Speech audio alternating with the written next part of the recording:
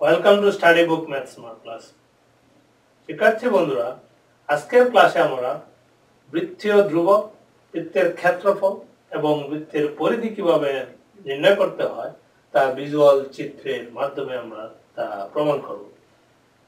তাহলে প্রথমে আমি বৃত্তীয় ধ্রুবক নিয়ে আলোচনা করি, যে বৃত্তীয় ধ্রুবক বলতে কি বোঝায়? বৃত্তীয় ধ্রুবক হচ্ছে যে বৃত্ত এই হচ্ছে একটি বৃত্ত। বৃত্তের এটিকে আমরা জানি, এটির নাম হলো পরিধি। পরিধি মানে সার্কামফিরেন্স আমরা দেখছি ভিজুয়াল চিত্রে, পরিধি ইংরেজি হচ্ছে আমি সি দিয়ে প্রকাশ করলাম। আর কেন্দ্রের ভিতর দিয়ে যদি একটি যায় এক প্রান্ত থেকে অপর প্রান্ত পর্যন্ত যায়, তার নাম হচ্ছে গিয়ে ব্যাস। ব্যাস ইংরেজি হলো ডায়ামিটার ব্যাসকে আমরা ডি দিয়ে প্রকাশ করলাম। এখন ওই যে বিজল চিত্রের মধ্যে ব্যাস যদি বড় হয় কিংবা ছোট হয়, তখন পরিধির মানটি দেখা যায়, ভিন্ন হয়। এখন এদিক থেকে আমি যে কোনো তিনটি মান সংগ্রহ করি। প্রথমে ব্যাস এবং পরিধি খেয়ে যদি আমরা ভাগ করি, পরিধি, আমি পরিধি খেয়ে ব্যাস দিয়ে ভাগ করব। পরিধি ডিভাইডেড বাই ব্যাস। পরিধি হচ্ছে কি আমার? সি আর ব্যাস হলো ডি। পরিধি এবং ব্যাসের অনুপাতটি আমি দেখব এখানে কি হয়। তাহলে এখন আমরা, আমি তিনটি যে কোনো তিনটি মান সংগ্রহ করছি। যে কোনো যে কেউ এদিক থেকে যে কোনো মান নিয়ে যদি সে একাধিক মান সংগ্রহ করে এবং পরিধিকে ব্যাস দিয়ে বাদ করে, তখন প্রতি ক্ষেত্রে রেজাল্টটি কি হয়? আমরা এখানে একটু খেয়াল করি তাহলে এই ব্যাস পরিধি এবং ব্যাস, এটি যেহেতু অনুপাত, আমি এখানে লিখলাম যে আমার প্রথম অনুপাত। প্রথম অনুপাত। প্রথম অনুপাত আমি কি? দুটি মান সংগ্রহ করি। পরিধি নিয়ে যাই। আমি এখানে পরিধি হয়তো সি সি এর ক্ষেত্রে পরিধির মানটি আমি সংগ্রহ করলাম সিক্সটি ফোর মানে ভিডিওটিকে থামিয়ে যে কোনো মান সংগ্রহ করা যায়। সিক্সটি ফোর পয়েন্ট সেভেন পরিধি।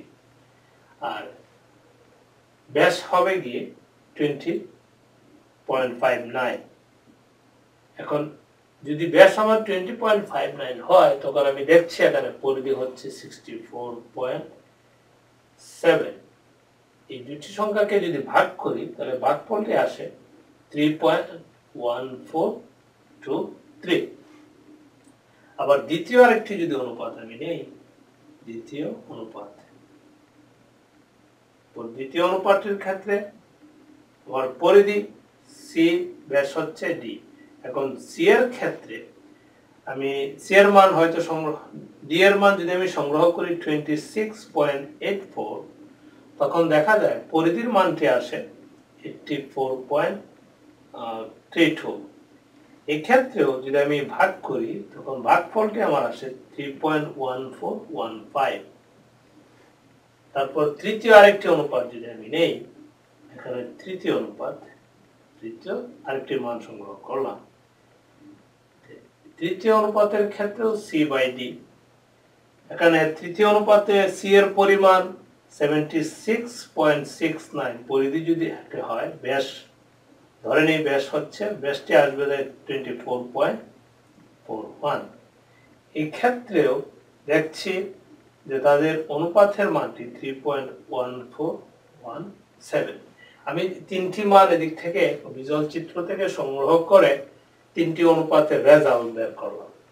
এখন কেন রেজাল্টটি বের করলাম? প্রশ্ন। এই থ্রি পয়েন্ট ওয়ান ফোর পর্যন্ত এই ব্যাস এক্ষেত্রে পরিধি এবং ব্যাসের অনুপাত থ্রি পয়েন্ট ওয়ান ফোর পর্যন্ত এদিকেও যথ। দ্বিতীয় অনুপাতের ক্ষেত্রেও থ্রি পয়েন্ট দশমিকের পরে দুই গড় পর্যন্ত থ্রি পয়েন্ট ওয়ান ফোর তারপর তৃতীয় অনুপাতের ক্ষেত্রেও দশমিকের পরে থ্রি পয়েন্ট ওয়ান ফোর অর্থাৎ প্রত্যেকটি অনুপাতের ক্ষেত্রেই আমরা দেখছি যে মানটি দশমিকের পরে দুই গড় পর্যন্ত একই।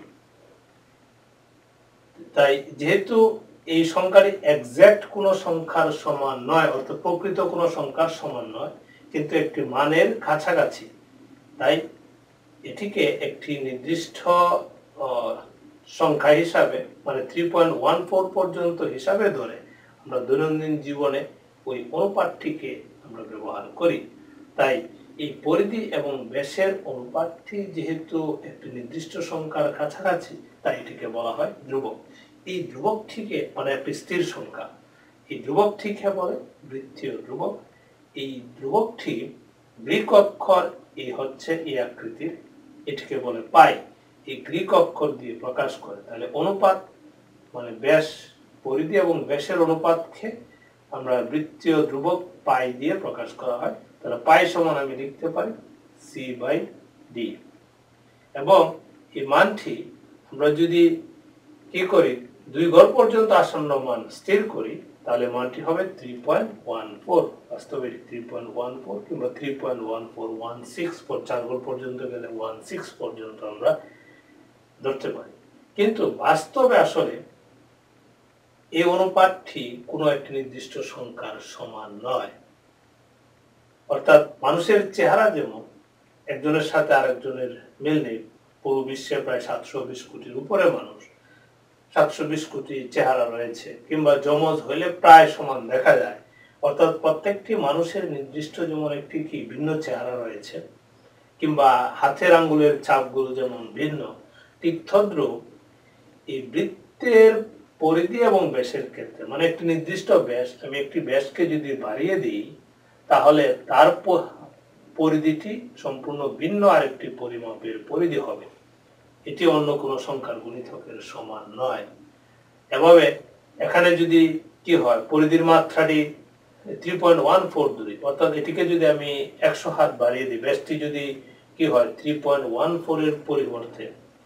থ্রি পয়েন্ট ওয়ান ফোর মানে হচ্ছে ব্যাস যদি ওয়ান হয়, পরিধি হবে থ্রি পয়েন্ট ওয়ান ফোর এখন ব্যাস যদি একশো হাত, একশো গুণ করে বেড়ে যায়, তাহলে পরিধিটি হিসাব অনুযায়ী তিন হাজার একশো চল্লিশ হওয়ার কথা, তখন দেখা যায় তিন হাজার একশো চল্লিশ নয়, অর্থাৎ এদিক দিয়ে আরও সংখ্যা, এই যে টু থ্রি এই পরিমাণ আরও সংখ্যা হয়। মানে ভিন্ন সংখ্যাগুলো আসে। অর্থাৎ ব্যাসের পরিমাণটি বাড়ার সাথে সাথে পরিধিটি সম্পূর্ণ একটি ভিন্ন দৈর্ঘ্য হয়।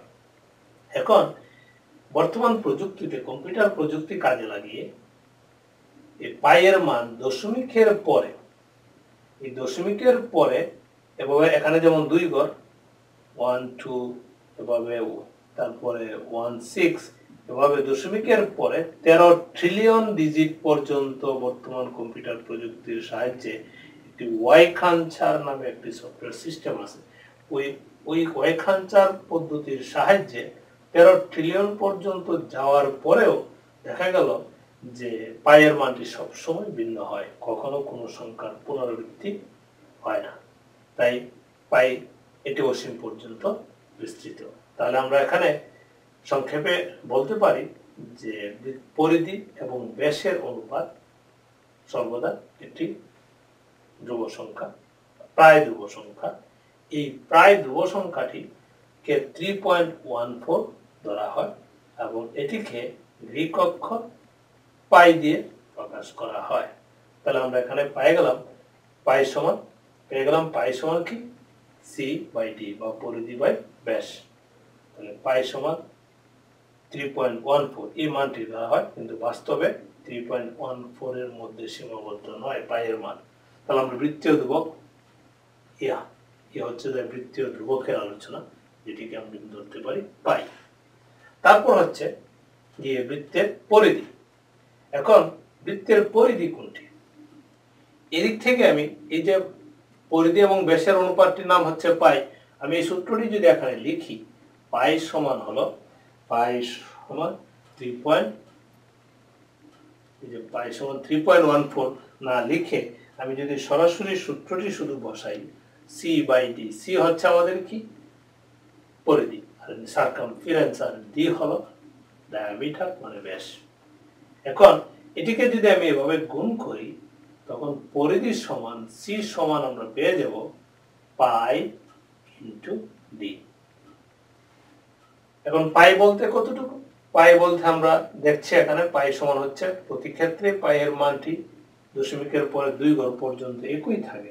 অর্থাৎ three point one four into one four আমি এখানে ওয়ান ফোর লিখলাম three point one four into D D হচ্ছে ব্যাস ভিজুয়াল চিত্রে আমরা দেখছি যে একটি বৃত্তকে যদি আমি, এটা হচ্ছে আমার একটি বৃত্ত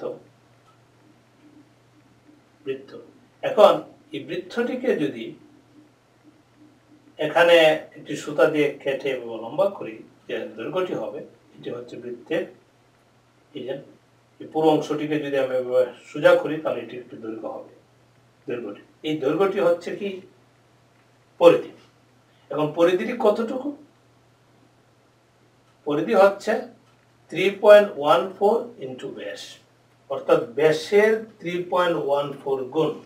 আমরা ভিজুয়াল চিত্রে দেখছি যে একটি ব্যাস, ওই যে ব্যাসের পরিমাণটি, ব্যাসটি এভাবে এক, প্রথম ব্যাস, তারপর দ্বিতীয় ব্যাস, তারপরে তৃতীয় ব্যাস হয়েও সামান্য অংশ বাকি থাকে, যা পরিধির সমান। এই যে একটি ব্যাস মানে ব্যাসের ওয়ান গুণ, দুইটি ব্যাস মানে ব্যাসের দ্বিগুণ তারপর তিনটি ব্যাস মানে ব্যাসের তিন গুণ। তারপর আরও সামান্য অংশ।